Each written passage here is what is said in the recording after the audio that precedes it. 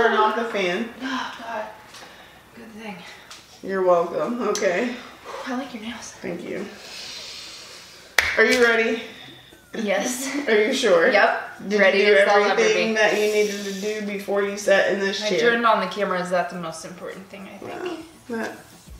Unless the battery dies. What kind of camera crew do we have here? Subpar, poorly paid one. Okay, this is a free operation, a non Exactly. for profit. Okay. We're not a charity. What kind of? We might as well be. You're right. You're right. Hi, guys. Hi. Welcome back to She Show Videos, where we are your hosts, Elizabeth and Britany. And before we even get started, please subscribe to our channel. Woo. Okay, we're out here doing stuff and things. All the things. Follow us on all the socials, listen to our podcast, She Show Videos After Dark. We'd love to have you. Comment below. Tell us about your life. Give us some topics. Yes. People have been giving us topics recently, and I love it. They're rolling in. I know. I've seen some. Girl on Girl was one, and I was like, okay, We've let's also talk about gotten it. some interesting commentary on our Instagram lately. Well. I can't wait to get into some of that. People think we're a lesbian couple. I know, and they're quite aggressive about it. Trying to, first of all, I wish. Okay. You're married. Technically, No. legally, I guess. All of the all of the leads. Whatever. Okay, in- including Christopher Lee. What? See what you did there. What are we talking about today? Today, I'm glad you asked because I let you pick. Okay, and No, to- you did. You I just said, one, or two. Okay, they're all numbered in my phone. Okay. Number two on my phone today is Does the partner with the lowest sex drive Yes. determine No. or hold the keys to the sexual relationship? Ugh. And should that be No. I think, speaking from my own personal experience, okay. I do think that the person with the lower sex drive, which could be me or could be Chris Taylor, it's hard to say, It's not hard to say it's you.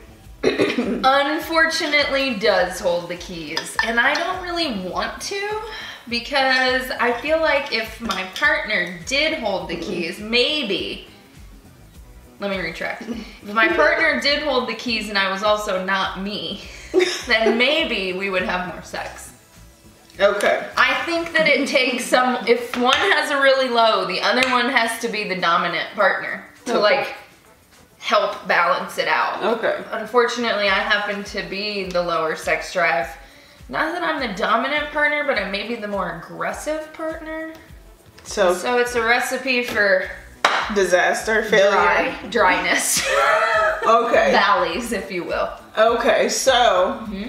Mm-hmm, let's let's spin this. Okay. Okay. All right, like So you're saying that the person with the lower sex drive should not hold the keys. correct, But in your case, the person with the lower sex drive does hold the keys. correct. So let's just go into a different realm of the Okay. world. And Chris Taylor Holds the keys. holds the keys. Okay. Okay. And you have the lower sex drive. How would you two balance that playing field? If you know you're the one with the lower sex drive and he has a higher sex drive, how do you think that you guys should meet in the middle and compromise to have a healthy more than once every 10 days? Sometimes it's more than once every 10 days. That's the average, which means sometimes it's less than once every I know how averages work. I think if one, if it's, if the sex drives are very different, one's much lower and one's much higher. Okay. The person with the higher sex drive has to find a way to like communicate or motivate the one with the lower sex drive to have Okay. sex. I think you can't force it because then there's like resentment, Resentment. yep, Mhm. and like frustration the opposite way. Like I feel like you're forcing me to do this. I don't want to do it this. It becomes a chore right. at that point. Agreed. Okay. But there has to be some like motivation, and I don't know what that looks like because I don't live in that realm. Okay.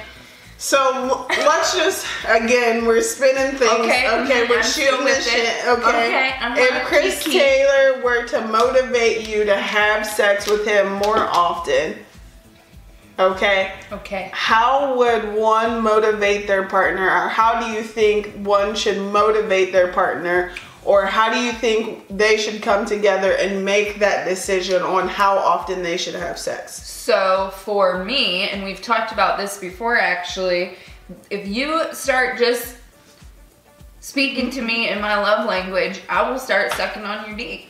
I'm just we know that's a lie. I, maybe not that. maybe not oralingus, but I would definitely be banging.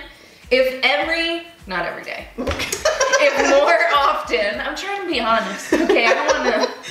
You're saying things that are if lies. More Abe. often, acts of service were done without question, like proactively. I feel like that would motivate me. Okay. He wouldn't have to say anything. I would just drop my panties if I had some on. I'm not wearing any right now because I'm in leggings. You don't, people believe you. Oh, okay. Um, so for me, I feel like it comes down to love languages, Okay. and I think that's psychologically for a lot of people true. Like, if you've said it before, like if you're filling my cup and you're doing the things and you're giving, right, then I'm more likely to want to give back, even if I'm frustrated, even if I'm tired, even if I'm stressed, because there's these counteracting measures that are happening to bring me back to center. Okay. So that would be it for me. Okay. So do you ever think that a couple, like, let's say while you're still in dating phase, Oof. okay, say you and Chris Taylor dated for five years, right? Mhm. Okay. Okay. And you were in this, like, realm with him where you're like, okay, he came up to you and he said, Elizabeth, I think that you have a lower sex drive. I have a higher sex drive. I want us to meet in the middle. What do you think about two times a week? Or, you know, this, do you think that agreement is ever a plausible situation? Yeah. Yeah, I feel like even now, as a, especially as adults, probably because when you're dating, especially if I go back to when Chris Taylor and I were dating, we were young, we didn't have Well, responsibilities, yeah. bills, right? But even Kids, now, responsibilities. like let's mm-hmm. say Chris was like, I can't do once every ten days. I have to have sex twice a week, which sounds like a lot, but he was like. I really feel like this would be best for us. Like I think being intentional and scheduling it, and you've talked. We talked about this on our podcast before. Like if I say no one day, we have to have a plan. Then okay, I know you want it, so let's plan on when we can make this happen. And if that's like making sure we bang during the day when the kids are at school, because I can't fucking stay up till 10:30 p.m. to bang, then yeah, I do feel like that is a plausible solution Option, to the issue. Do you feel like there's any other ways to come to an understanding or agreement about how many times that you should have sex a week? Because I know that there's people out there, not unlike myself, who are like revved up. You know, mm-hmm. life gets you going. And there's some people who have the train of thought that says, like, you know, if you have it more often, it's something that you make time for, you incorporate it in your Okay. relationship, mm-hmm. and makes a better relationship. Like, you know how you say if Chris Taylor does this, then he'll get this, but a lot of people have the reverse thought process where if you If you give, give him it more, he'll do more. okay. But I do understand that. Okay, I can understand that. I think, I mean, I think there are creative ways, right? I might say, like, look, I can't be banging two times a week. Okay, I'm tired. But how about if I, like, do a boudoir shoot or I send you some pictures a few times a week to like maybe I we can compromise and I can try to like keep it spicy without you know settling losing my position of power. You don't have a power.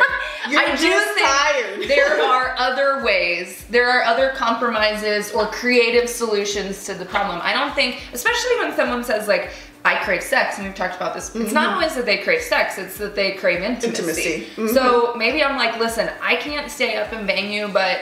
Tonight, like you pick whatever movie and we'll snuggle, or I'll give you a back massage, whatever, to like try and help fill that gap. To me, at that point, then I might as well just bang because like, what am I getting out of giving him a back massage? But to each their own. What? That's my life is not a good example. We've talked about this before. I think that this is why we make such a, a beautiful pairing, though, because you rock bottom. Okay. What? I think I'm Okay, let's take a, a poll of all of our friends. So, your sister. Yeah, I'm not rock bottom because I'm thinking of somebody who hasn't had sex in like over a decade. So. No, the Um, people who are having sex. Oh, now we got. That's weird. We're talking about having sex on a regular basis, making a cadence with your partner. Hmm. So because she doesn't have a partner, she doesn't count. Not on a regular basis, okay? Fine. So, your sister, all of our friends who are married, some of us who are just out here, where would you say that you rank on that level? Low. Pretty low.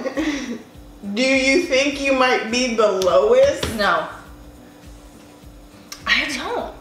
I, I bet we. First of all, I know we have friends that exaggerate. I, I Oh, shit. would bet my whole body on it. Why are we Even these brand new tits. Okay. Why are we betting bodies I'm on just saying. I You bet my whole body count on it that we have. it? Nobody Friends I've that seen some people in your body count. Okay, I bet the good half then. Okay. The good third. I was It's gonna probably a good third. I see a good two. if we're being honest, I see a good two. you know, Okay. Uh, solid two. and I just think. I just, I just don't. I refuse to accept that I'm the bottom. I will take second to the bottom. okay. But I started from the bottom and now I'm here. okay. Okay. Okay. And one, at one point I was up here, Okay. but that was like a while ago. Like Now you're tired. a couple of decades. Yes! Okay, I was popping this pussy on the handstand for so long, my fucking elbows gave out. No, that's- Literally. That's your epicondylitis. okay? exactly. I have a brace. That's because you're old. Okay. And tired. We're saying the same thing. Okay. I think so let me just reverse. So so yes, I think the person with the lower sex drive in my situation Shouldn't. does hold the key, but should not. okay. Do you agree? I- what are your thoughts? My thoughts are the same. I think that each relationship is different. I feel like in your situation, Chris Taylor has accepted his fate and he knows He loves me for all the other things I bring to the table. Continue on. We're saying the same thing. Oh my gosh, it is Uh huh. late. It's dark out. There's not even a clock over there. It's dark outside. Continue on. Uh, and he's just accepted it. But some people have the school of thought that you shouldn't accept it. A partnership is an agreement between two people who Mm-hmm. want to keep that intimacy, keep that. Connection, Yeah, that physical alive. bond. hmm So I definitely don't think that everybody should match my level of sex drive, especially Because you would never, you never find it. the older I get. You know, there's some problems that men and women have. Women have dryness or low sex drive, low libido. Men have Or both. ED problems, things like that, stress, all the things come into play. Mm-hmm. Stamina starts to Mhm. These motherfuckers out here are getting tired. Remember, remember back in the day we used to go mm-hmm. rounds? Now it's like First of all, I would never stay wet that long. Never. I do. You could go over an hour. No, I could do two rounds. Okay. Definitely two rounds, maybe even three rounds. In a week? No, in a night. Okay, me too. You know? But I do not think that anybody should pick. I think that you should have like a proper marriage of mm-hmm. meeting in the middle, right? Mm-hmm. a partnership. Yeah. Okay. Like this is what I expect out of a relationship, but I also think that's a conversation that you should have. Especially if sex is very important to you, then you should have that conversation agree. in the beginning that says like, okay, I would expect to have sex like I would expect to have sex at least 4 times a week. that to me, I, you know, have that level of intimacy, have that level of closeness. Is this why you don't want to be my girlfriend? Because you know I can't give it to you four times a week. Because I could make some changes.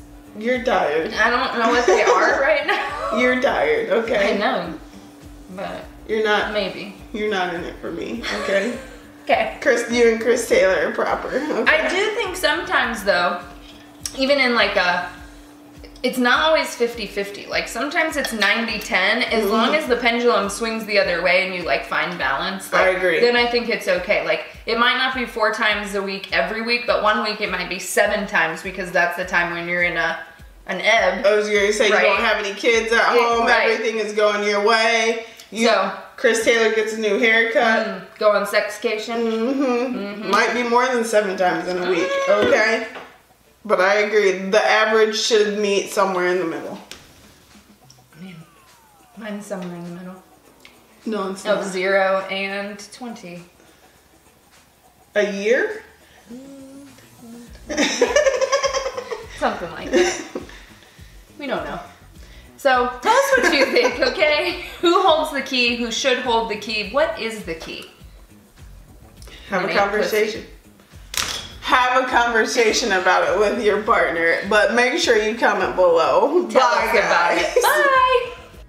What? It rhymed. Why are we friends? I hold the key to this pussy. Wee, wee, wee. You sounded like a gangster rapper and then a Frenchman.